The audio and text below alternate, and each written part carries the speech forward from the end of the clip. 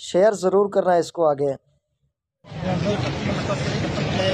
बसमीम आज सात जनवरी 2022 तारिक रोड, मदीना मस्जिद के पास वो शख्स जिन्होंने अल्लाह के घर के लिए 50 करोड़ रुपए देने का ऐलान किया, आज ही अब्दुल रजाक साहब हमारे दरमियान मौजूद है और आज भी इनका ये जज्बा अल्लाह के घर के लिए वैसे ही बरकरार है।